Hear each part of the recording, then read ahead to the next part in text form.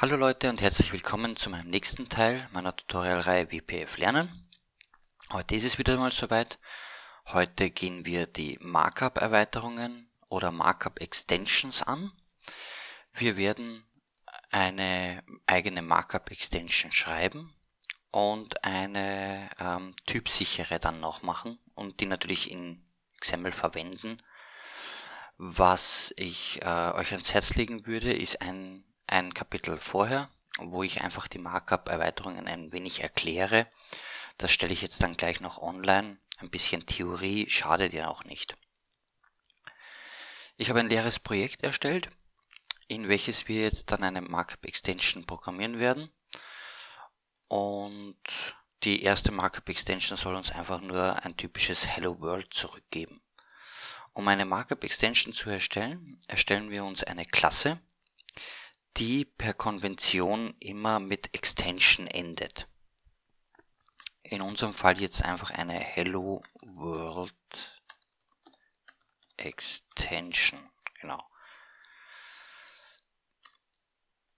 Üblicherweise schmeißen wir das Ganze in einen eigenen Namespace. Diesen Namespace äh, nenne ich jetzt einfach MyExtensions und eine Markup Extension erbt von der Klasse Markup Extension im Namespace Markup. Hier bekommen wir jetzt von Visual Studio automatisch schon eine Methode, die wir überschreiben müssen die Methode ProvideValue, welche uns einen Service Provider zu, äh, als Parameter übergibt. Zudem kommen wir dann später im Kapitel. Jetzt im Moment möchten wir einfach hier nur ein Hello World zurückgeben. Einfach um zu sehen, was passiert. Um das Ganze jetzt in XAML zu verwenden, muss der Designer ja unsere neue Klasse wieder kennen. Die kennt er nur, wenn wir einmal vorher kompilieren, also Steuerung Shift B, Rebuild, dann wird hier kompiliert. Wenn das erledigt ist, dann können wir hier unseren Namespace im XAML bereits einbinden. Ich nenne diesen, also ich benamse diesen Namespace jetzt mit ext. aus dem Namensraum MyExtensions. Ja, und wenn ich hier jetzt eine Textbox zum Beispiel hineingebe, dann kann ich für das Text Property diese Extension bereits nutzen, indem wir wieder die geschweifte Klammer verwenden, ext hello world. Hier wird es uns schon vorgeschlagen in der IntelliSense. Und was jetzt passiert ist, dass wir hier hello world bereits zurückbekommen, im, im Designer auch schon sichtbar. Wir sehen also, unsere Extension funktioniert. Okay, wir haben die jetzt gleich benannt, also wie der Wert, den wir zurückgeben. Wenn wir diese Extension jetzt ändern und wir geben das jetzt in Deutsch zurück, sehen wir, dass es auch so funktioniert. Hallo Welt, einmal einen Bildvorgang starten und wir sehen Hallo Welt hier. Das ist praktisch. Extensions werden zum Beispiel auch gerne verwendet, um Lokalisierung zu implementieren oder diverse andere Sachen, die man einfach immer wieder benötigt, ohne dass man jetzt großartige Binding über die Klasse machen muss. Wir müssen dann zum Beispiel in die Basisklasse nicht SIG Properties äh, hineingeben, um diverse Werte hineinzubekommen. Gehen wir mal zum nächsten Beispiel und sagen, wir möchten ja eine Multiplikation machen um, die nennen wir jetzt Multiply Extension. Und die erbt wieder von Markup, Markup Extension. Genau. Um eine Multiplikation durchführen zu können, brauchen wir ja zwei Werte, die wir multiplizieren möchten. Wir erstellen uns also zwei Properties in unsere Klasse Multiply Extension. Einmal sagen wir Value 1 und die ist vom Typ ja, machen wir es jetzt mal Object. Typsicher werden wir dann später noch durchgehen. Gut, und dann haben wir dann noch einen zweiten Konstruktor. Also es gibt ja den parameterlosen Konstruktor, den gibt es per Default. Und wir möchten uns jetzt noch einen zweiten Konstruktor machen, um die Werte übergeben zu können.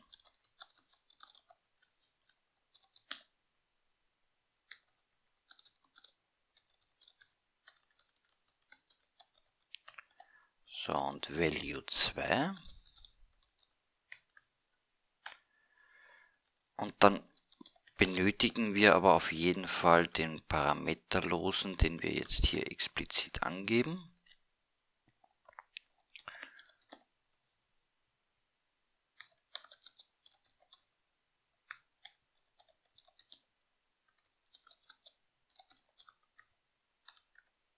So, gut. Was wir hier jetzt bei Provide Value machen werden, ist, dass wir ganz einfach hier die Multiplikation durchführen werden. Für das ist natürlich praktisch, wenn wir vorher prüfen, ob die Werte eh nicht äh, nothing sind und dann eventuell zurücksetzen auf 0 zum Beispiel. Ne?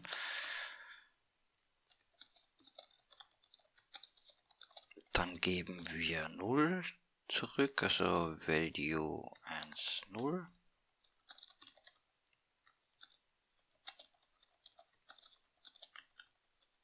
Ah, falsch. Ist ja komplett falsch.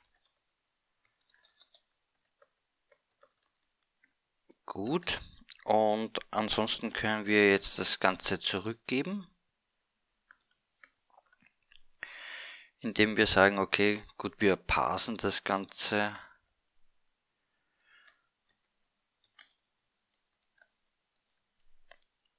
Und sagen, okay, Value 1 to string. Und das multiplizieren wir na.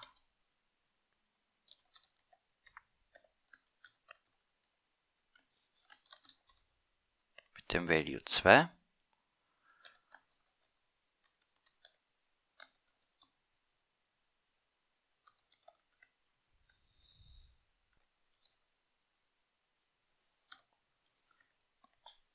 Gut. Jetzt haben wir unsere Klasse soweit fertig. Es empfiehlt sich bei Markup Extensions auch mit äh, Annot Annotation zu arbeiten, weil wir dann bessere Unterstützung auch im Designer haben. Für das gibt es hier auch die Möglichkeit, dass wir hier den Konstruktorparameter angeben da habe ich mich verschrieben. Konstruktor Parameter. Ah, Arguments, so ist es. Arguments. Genau, und hier können wir dann den Argumentnamen eingeben, wie zum Beispiel Value 1. Und das machen wir für das zweite Property auch, Value 2 weiß ich dann einfach, weil wir dann im Designer mehr Unterstützung haben. Gut, wir kompilieren das Ganze wieder. Somit ist der WPF die Klasse bekannt und wir können die jetzt hier verwenden. In den richtigen Namespace sollten wir es noch geben.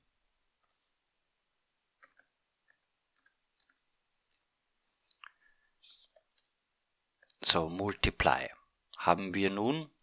Wenn wir das hinzufügen, wird es unterstrichen, dass es in MyExtension nicht vorhanden ist, weil wir es noch nicht neu kompiliert haben.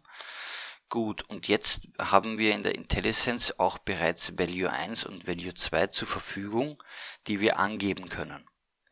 Wenn wir jetzt sagen Value 1 4 und Value 2 ist 2,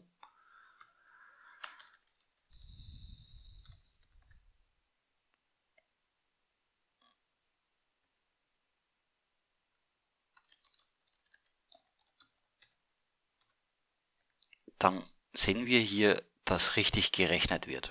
Ich kann das hier jetzt nochmal ändern auf 3. Und dann sehe ich direkt, wie sich die Werte verändern.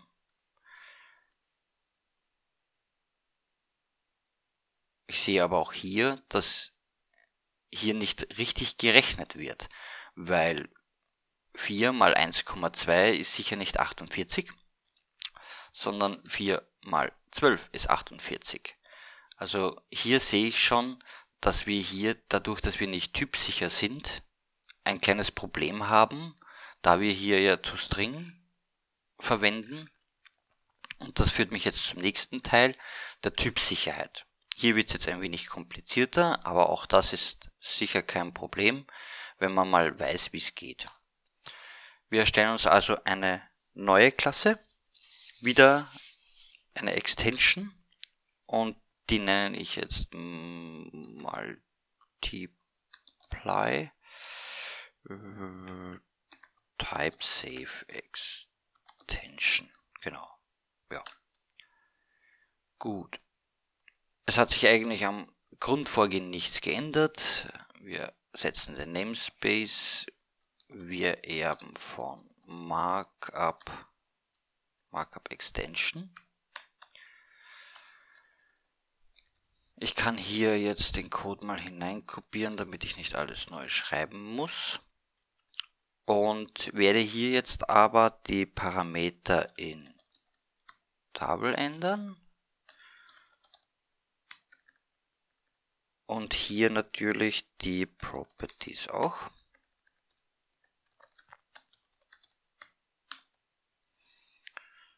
Einen Import brauchen wir noch. So. Gut. Jetzt kommt der Moment, wo der Affe ins Wasser springt. Hier werden wir jetzt auch den Service Provider verwenden. Und hier sehen wir dann jetzt auch ganz gut, äh, wofür der überhaupt da ist und was uns der bringt. Und zwar werde ich im ersten Schritt jetzt mal abfragen, ob der Service Provider nicht Nothing ist.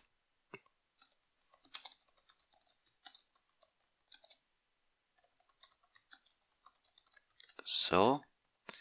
Gut. Und dann holen wir uns Target, holen wir uns den Service vom Service Provider ein Provide Value Target herein. Also auf was das Property dann angewendet wird. Target, also das Ziel. Hierfür müssen wir Direct Cast verwenden. Über den Service Provider bekommen wir mit Get Service. Ja, und hier müssen wir bei Get Service ein I provide value target geben. Und das ist ein I provide value, provide value target. Genau. Das muss man mal wissen, einfach, äh, ja, dafür gibt's äh, genug Seiten auf Microsoft und Tutorials und ja, da kann man einfach sehen, wir können auch hier bei iProvider beim iService Provider hineinsehen. Hier, äh, das sehen wir eigentlich nicht viel. Wenn man hier einen Haltepunkt setzt beim Debuggen, dann sieht man, dass hier also im Service Provider dieses Service gibt. Also ich zeige es dann später beim, beim Debuggen. Eigentlich könnten wir es jetzt auch schon debuggen. Setzen wir uns mal einen Haltepunkt. Dann kann ich das mal zeigen wenn wir hier jetzt so, wenn wir das Ganze starten,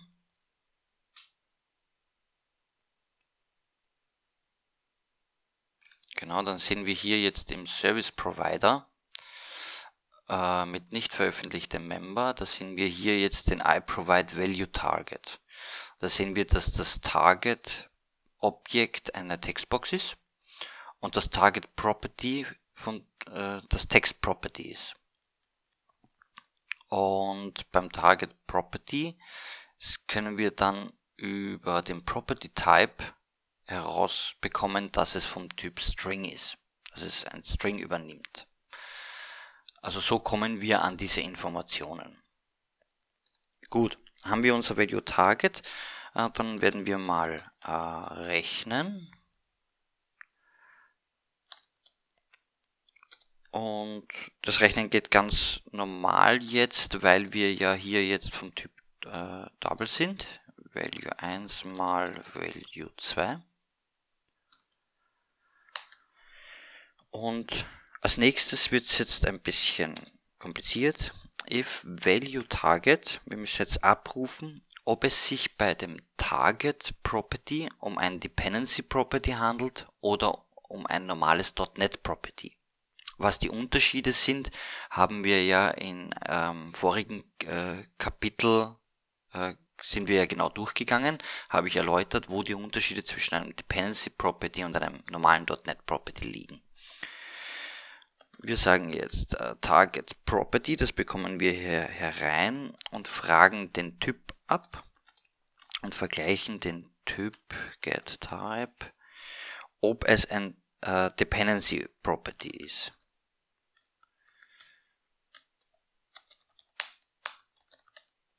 Wenn dies der Fall ist, dann merken wir uns dieses Direct Cast und dann im Grunde genommen dasselbe, Value Target, Target Property und Dependency, Dependent, no. Visual Studio 2019 hat manchmal ein bisschen Probleme mit der IntelliSense. Und dann können wir hergehen, wenn wir unser Dependency Property haben und bekommen hier mit dp jetzt äh, unseren, unsere Informationen über das Property, unter anderem auch den Property Type. Und jetzt können wir sagen, okay, wir geben dann über convert mit change type geben wir jetzt äh, unser Calc Result zurück und als Typ geben wir unser Property Type an. Genau. Und wenn es sich aber um ein normales Dependency Property handelt, dann werden wir uns die Informationen etwas anders holen, wie der Value Target und sagen, na, da, da, da, ähm, Property, Target Property, genau, das ist jetzt ein Property Info. Property Info, da benötigen wir dann einen Import wieder, weil das über Reflection gehen muss. Und dann können wir wieder unseren Wert konvertiert zurückgeben. Und zwar wieder unser Calc Result und auf das Info Property Type. Gut, das ist jetzt unsere Methode, die uns sicherstellt, dass das Ganze konvertiert wird in das, was das Property im XAML erwartet. Jetzt können wir das mal probieren, indem wir einen Bildvorgang starten und in unseren Main-Window hineinsehen. Hier geben wir jetzt 1,2 Wir sehen, okay, das funktioniert jetzt. Es wird auch in einen String gewandelt. Und hier geben wir dann einen String zurück. Die Frage ist jetzt aber, was passiert, wenn ich jetzt hier Text eingebe? Dann bekomme ich hier auch, dass die Eingabezeichenfolge das falsche Format hat. Das funktioniert soweit. Ich sehe jetzt auch hier alle meine Extensions. Aber was ist, wenn ich jetzt das Ganze auf zum Beispiel das äh, Width Property anwenden möchte? Das machen wir jetzt mal. Extension. Ich habe hier jetzt äh, wieder alle Extensions hier. Um, es ist aber so, dass ich jetzt sage, okay, gut, ich möchte jetzt nicht, wenn ich jetzt sehr viele Extensions habe und ich erwarte ja beim Width Property, erwarte ich äh, einen Rückgabewert vom, vom Typ Double ja, und nicht vom Typ String. Das heißt, und mein Hello World, meine Hello World Extension, die wäre jetzt nicht ideal für das. Und dafür kann ich in auf Höhe der Klasse der Extension kann ich jetzt angeben, welchen Typ diese Extension, also für welchen Typ diese Extension ist. Und das kann ich machen mit Markup Extension Return Type. Und hier gebe ich an über, über getType double. Wenn ich das Ganze jetzt kompiliere und dann wieder ins Main-Window hineinsehe, können wir das jetzt mal wieder weg, dann sehe ich hier beispielsweise, dass ich jetzt in der IntelliSense beim Text Property jetzt diese Extension nicht mehr zurückbekomme. Wiederum hier bekomme ich es vorgeschlagen weil die WPF sagt, also der Designer, okay gut, äh, der Typ stimmt mit dem Typ überein. Beim Text Property String, das kann, also jedes dieser dieser Extensions äh, gibt Object zurück, somit funktioniert's, außer die eine, die gibt explizit Double zurück. Somit funktioniert's beim Text Property nicht. Es funktioniert zwar, weil der interne Konverter der WPF das konvertieren kann, aber es, die WPF sagt, nee, es funktioniert nicht, weil sie einfach glaubt, okay, gut, diese Typen, die stimmen nicht überein, ich schlag's dir nicht vor. Hier allerdings funktioniert's wieder, ich kann hier Value 2 und Value 2 ist 4 und dann bekomme ich schon die Width geändert. Ähm, jetzt ist das natürlich relativ klein, machen wir es ein bisschen größer, genau. Jetzt bekomme ich das abgeändert. Und so können wir wirklich typsicher arbeiten und können uns unsere Extensions auch ein bisschen zurechtlegen. Wenn äh, eine Extension für ein Text Property zum Beispiel sein soll, dann kann ich natürlich hier als Typ Object angeben und dann kann ich es überall verwenden. Ja, kurz und knapp, das war's eigentlich schon wieder mit den Extensions. Ich mache jetzt mal einen Bildvorgang, schauen wir mal, ob man, ja genau, die Fehler sind weg. Soweit denke ich mal, ist das kurz und knapp erklärt mit Extension, äh, mit Markup Extensions, sind eine praktische Sache. Ich kann damit gewisse Logik direkt äh, dem XAML Designer zur Verfügung stellen. Ähm, ja, hier war das jetzt eben ein einfaches Beispiel mit dem Rechnen, aber äh, ich glaube, da schwirrt in euren, euren Köpfen schon einiges an interessanten Sachen herum. Ja, das nächste Mal geht's dann zu den Attached Properties, auch ein sehr interessantes Kapitel. Ich würde mich freuen, wenn ihr mir einen äh, Like, einen Kommentar hinterlässt äh, oder einfach meinen Kanal abonniert. Ansonsten hier in der WPF-Reihe vielleicht ein hilfreich. Und hoffe, ihr seid beim nächsten Mal auch wieder dabei, wenn es dann an die, die ähm, was war, wo wir da? Attached Properties geht, genau. Hm. Ansonsten schöne Grüße und bis zum nächsten Mal. Ciao, ciao.